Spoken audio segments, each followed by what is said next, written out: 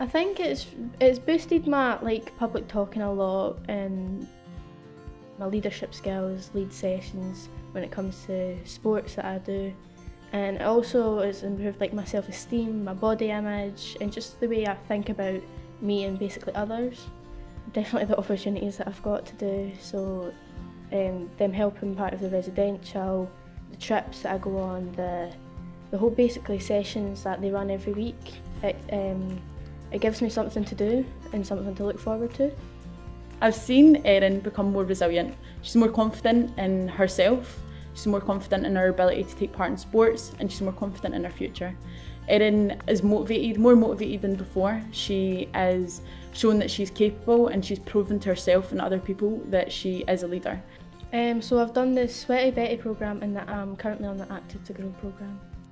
The Sweaty Betty one, so what we did is we came every Wednesday up to St Centre and we would basically talk about fitness and we would go to the gym for an hour to like boost our confidence and basically just having that little extra bit of fitness uh, was a safe place for us to talk about stuff that we couldn't really talk about outside of the programme.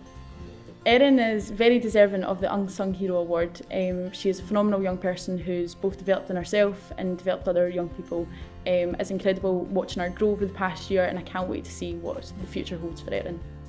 It's definitely worth your time and it's definitely worth being able to say that you've done it and definitely something that's enjoyable and something that's fun, somewhere you can talk to people and make new friends.